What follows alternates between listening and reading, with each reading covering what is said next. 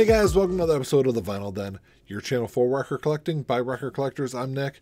It's Tuesday. It's time to talk about some new releases coming out this Friday, March 10th. There's about 500 albums coming out total. I got uh, 10 on my list to talk about today, though.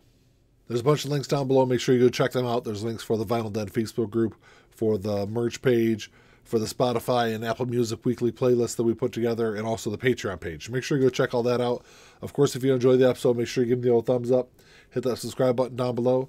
Make sure you hit that notification bell so you're notified every time I release new episodes. Well, like I said in the intro, there's about 500 albums coming out this week. I've got 10 on the list that I'm going to talk about today. So if there's something I don't talk about, make sure you drop me a comment down below. Let me know what else you're looking forward to.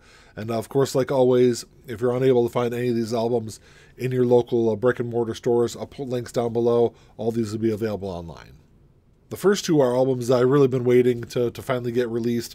The first one, this is Bush, The Art of Survival. This was released October of last year. It's Bush's ninth studio album. There's two versions of this I saw online. There's a white version, and then there's a, a black version of it. Both of them are going to run you about 30 bucks.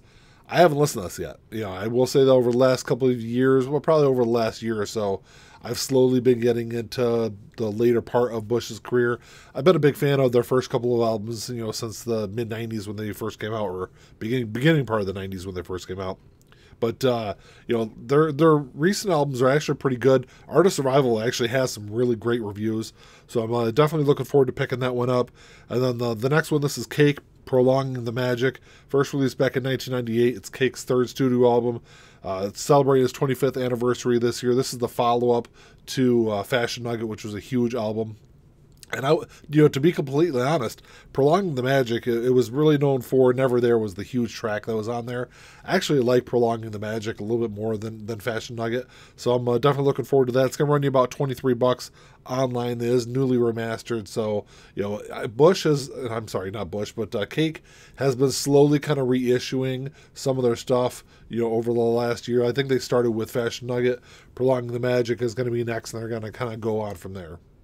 This week, Richard Cheese is reissuing The Sunny Side of the Moon. This is a uh, compilation album from uh, back in 2006. It's on yellow vinyl. It looks really cool. It's gonna run you 26 bucks online.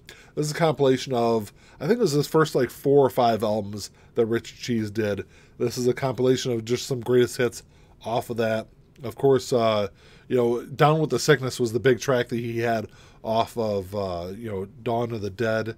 Uh, you know, got some kind of traction, some success with that track. Uh, if you're unfamiliar with who Richard Cheese is and what he does with his music, he takes all these great songs and does them lounge style, which is absolutely fantastic. A lot of them are really hilarious. It's definitely one worth checking out.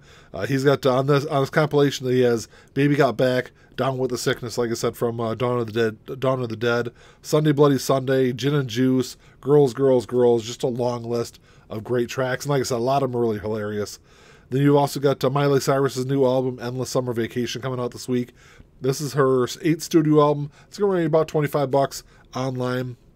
This is the uh, follow up to Plastic Hearts, which she released back in 2020. If you aren't for unfamiliar with Plastic Hearts, check that out also because it's a fantastic album. I think it really kind of flew under the radar with everything else that was going on in uh, in 2020. Plastic Hearts had a really strong, like kind of 80s rock vibe to it. Uh, I know Billy Idol was on there. I think Joan Jett was on there also. There's some like uh, new wave stuff also. It's really kind of interesting album. If you're unfamiliar with, or if you really haven't checked out anything from uh, Miley Cyrus's career, I would definitely start with that album because I think, in my opinion, it is her best album.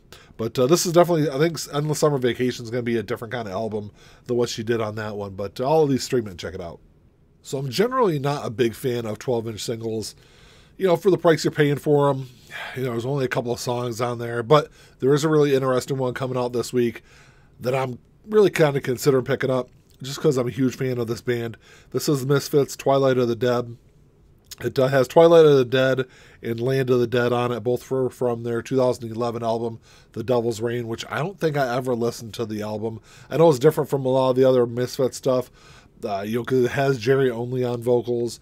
You know, to be completely honest, I'm more a fan of the Glenn, Glenn Danzig era, the early part of uh, the Misfits career. But uh, I'll definitely, I'll definitely check it out. I love the artwork on this. It has a very like 80s Zombie Lake kind of vibe. I think that the uh, the album the album cover, the artwork on this uh, 12 inch single has. If you're unfamiliar with uh, Zombie Lake, it was one of those like cheesy, campy early 80s horror movies. This is gonna run 18 bucks online, so that's why I said it, it's only $18. I, I, might pick it up just because I love the Misfits so much. You've also got uh, Bad Brains Release and Rise. Bad Brains has been over the last year or so. They've been reissuing a lot of the albums from their from their catalog. This was first released back in 1993. It's their fifth studio album. It's a green and yellow marbled vinyl. This is an MOV release. It's a 30th anniversary release. It's only going to be a thousand copies. That's going to be available. It's going to run you about 45 bucks, which is definitely kind of pricey. But a lot of those MOV releases tend to tend to be in that like 38 to 42 dollar range, so it's really not off from a lot of the other stuff that they've released. This was uh, Bad Brains' major label de- debut, and it's their only album to not feature HR on on vocals. This week you get kind of an interesting release coming out. This is the reissue of Blackmore's Night, Shadow of the Moon. This was first released back in 1997. It's their debut album, 25th anniversary. There's a black version and a clear version. The black version's gonna run you about 40 bucks. The clear version's gonna run you about 45. They both have all the same stuff in it. It's a double LP. They both come with a uh, bonus seven inch that has uh, the the the demo for Shadow of the Moon. Also comes with a CD. So I kind of think you're getting a lot with this package here if you're a fan of this album.